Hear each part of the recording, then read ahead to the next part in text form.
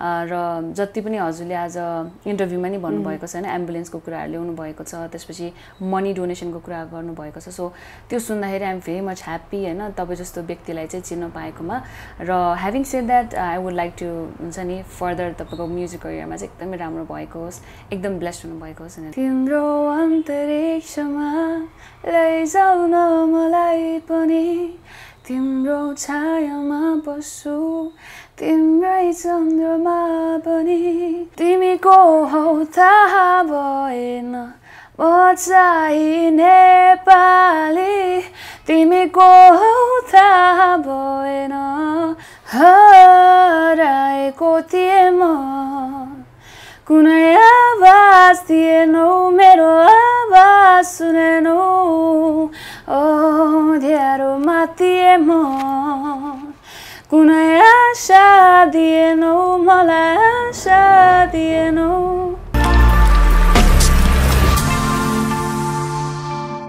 So यतिखेर मसँग हुनुहुन्छ अफ्रिदा खड्की हुनुहुन्छ उहाँलाई स्वागत छ स्वागत छ।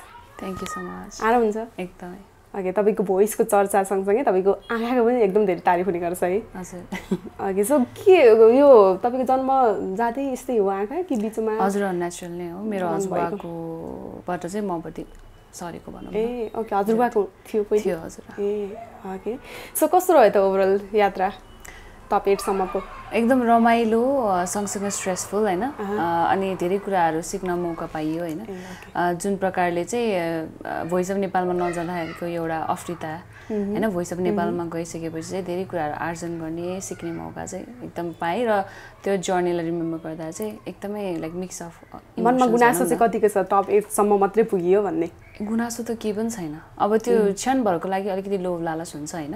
योभन्दा बढ्दा रूपमा जान पाए के हुन्थ्यो होला भन्ने। तर टप एटसम्म आएर पनि जतिको माया र जतिको लोकप्रियता मैले आज पाएको छु होइन। सो त्यति नै? एकदम। ओके सर अब रियालिटी सोमा जाँदैछु होइन। अब प्रतिस्पर्धी भएर चाहिँ जाँदैछु भन्ने बित्तिकै चाहिँ अब के हुन्छ? कस्तो हुन्छ एउटा प्रतिस्पर्धीको मनमा चाहिँ? प्रतिस्पर्धीको मनमा चाहिँ अब फर्स्टमा त अब सिङ्गिङ नै हो नि त होइन। सो आफूले आफूलाई कसरी अडियन्सहरूलाई रुचाउने खालको कस्तो खालको गीतहरू गाउँदाखेरि बेटर होला? पर्फर्मेन्स कस्तो खालको गरियो भने चाहिँ कोचेसहरूको हृदयलाई जित्न पाइयो होइन?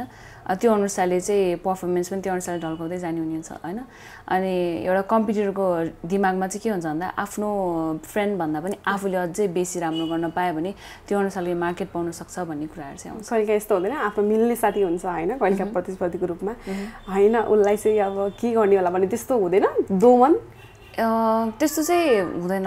दोमन हुँदैन? किनभने त्यो बोन्ड छँदै हुन्छ नि त होइन? सो लाइक अब त्यो कम्पिटिसन अथवा कम्पिटिटर भनेर चाहिँ त्यो आई मिन लाइक अब मेरो केसमा चाहिँ त्यस्तो थिएन होइन? अरूहरूको बोनमा अथवा अरूहरूको टिममा कस्तो थियो के थियो अब मलाई चाहिँ थाहा भएन। मेरोमा चाहिँ त्यस्तो कहिले पनि रहेन। ओके सो अब यात्रा त टुङ्गिसकेको छ होइन? यात्रापछि चाहिँ अहिले के के गर्दै हुनुहुन्छ त?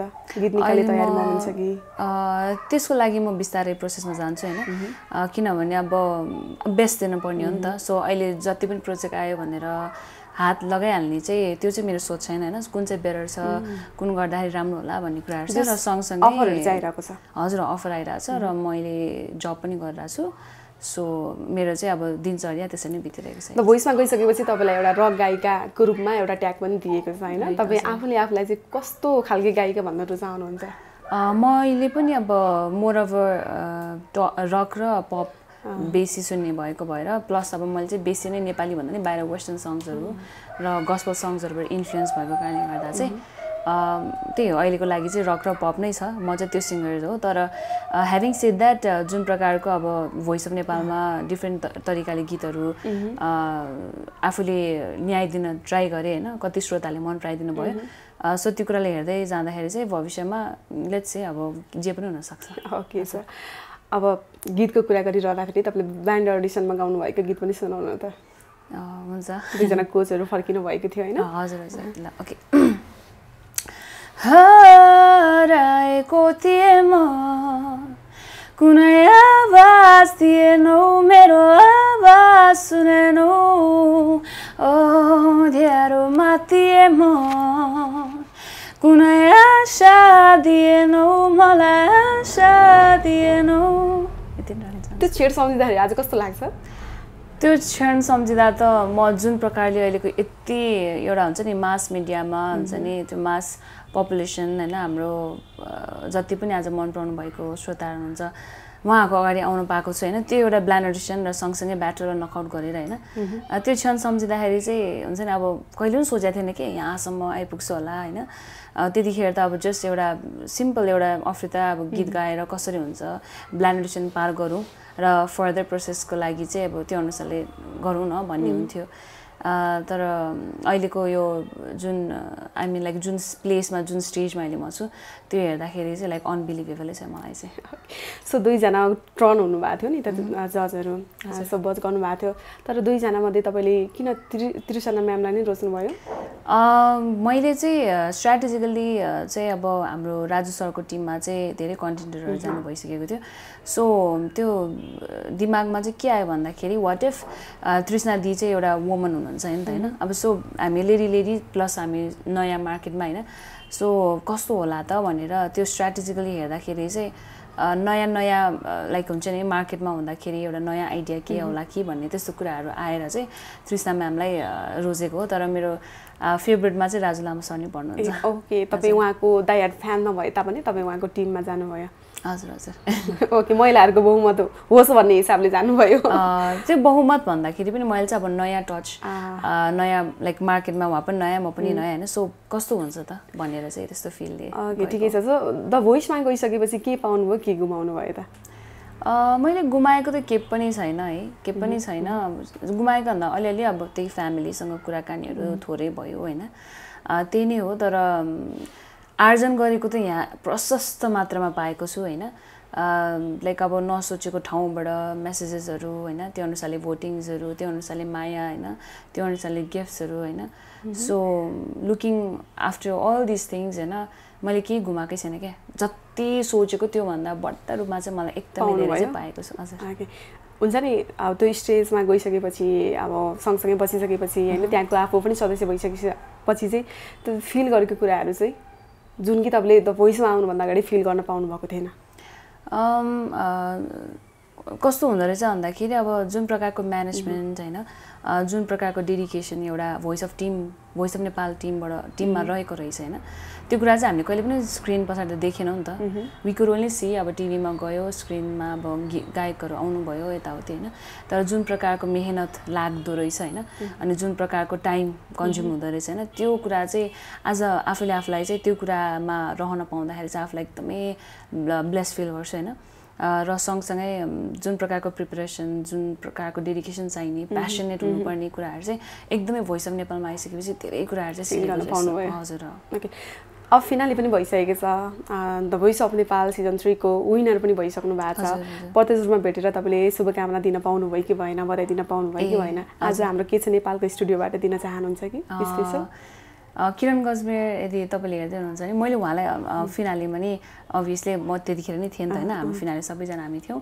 सो त्यतिखेर पनि बधाई दिन पाइयो तर लाइक पर्सनली दिन पाएन. So if you're watching this I would like to congratulate you होइन? र जति पनि हजुरले आज इन्टरभ्यूमा नि भन्नुभएको छ होइन? एम्बुलेन्सको कुराहरू ल्याउनु भएको छ त्यसपछि मनी डोनेसनको कुरा गर्नुभएको छ. सो त्यो सुन्दाखेरि आइएम भेरी मच ह्याप्पी होइन? तपाईँ जस्तो व्यक्तिलाई चाहिँ चिन्न पाएकोमा. र having said that I would like to हुन्छ नि फर्दर तपाईँको म्युजिक करियरमा चाहिँ एकदमै राम्रो भएको होस् एकदम ब्लेस्ड हुनुभएको होस् भनेर चाहिँ उहाँलाई उहाँको निम्ति कुनै गीत गाउन चाहनुहुन्छ कि? उहाँको फेभरेट उहाँको फेभरेट त थाहै छैन अहिलेसम्म भन्नुभएको छैन भेटेर? ओके सो उहाँको लागि कुनै एउटा गीत डेडिकेसन गरिदिनु न त तपाईँको तर्फबाट। उहाँको लागि गीत कुन छ? ल सिम्पल त्यही मुस्कान गाइदिन्छ है त। तिम्रो अन्तरिक्षमा लैजाउ न मलाई पनि। तिम्रो छायामा बस्छु तिम्रै चन्द्रमा पनि। आकाशै भरिने गरी माया तिमीलाई म गरौँला। माया मात्र तिमी हाँसिदे। यति नै? हजुर। मिठो कुरा धेरै खान पाइँदैन भन्थ्यो त्यही होला सायद। सो अघि अन्तर्वार्तामा यहाँ आउनुभन्दा अगाडि पनि तपाईँ अफिसमा छु भनेर भन्दै हुनुहुन्छ के गर्नुहुन्छ? गाउनु बाहेक तपाईँ के के गर्नुहुन्छ? अलिक थोरै हाम्रो जनताहरूको लागि। ए मेरो चाहिँ मैले जुन अर्गनाइजेसनमा काम गर्ने मेरो चाहिँ फिन्टेक कम्पनी हो। सो हामीले चाहिँ ब्याङ्कहरूलाई सर्भिस दिने होइन? ATM related POS related card related होइन? अनि सँगसँगै भिजा मास्टर कार्ड युपिआई जति पनि छ। सो त्यस्तो सबै नेटवर्किङ र तपाईँको ब्याङ्कहरूमा ब्याङ्कहरूलाई सर्भिस दिने चाहिँ गर्छ हाम्रो त्यही भनेपछि अफ्रिता गाउन मात्रै होइन। जब होल्डर पनि हुनुहुन्छ भन्ने बुझौँ अब। हजुर हजुर। फ्यामिलीबाट कतिको सपोर्ट तपाईँलाई यता सिङ्गिङ क्षेत्रमा आउँदाखेरि चाहिँ? एकदमै धेरै एकदमै धेरै। पहिल्यैदेखि नै सपोर्ट गर्नुहुन्थ्यो होइन? र अहिले पनि त्यही मात्रामा भोइस अफ नेपालमा आइसकेपछि झनै बेसी सपोर्ट गरिदिनु त भोइसमा रहिरहँदाखेरि चाहिँ तपाईँले हुन्छ नि पर्फर्मेन्स दिएकोहरूमध्ये सबैभन्दा बेस्ट लाग्यो हजुरलाई? त्यस्तो कुनै? मलाई बेस्ट लागेको म चाहिँ नेपाली होइन जसले चाहिँ लाइक हुन्छ नि सबैले मन पराइदिनु भयो होइन। अनि मार्केटमा पनि त्यो अनुसारले हुन्छ नि सबैको जातपात भाषा धर्म भन्ने जुन कुरा आएको थियो होइन। सो त्यो कुराले चाहिँ एकदमै त्यो फेभरेट गीत रहेको गीत पनि सुनाऊ यो अवसर नगुमा मलाई।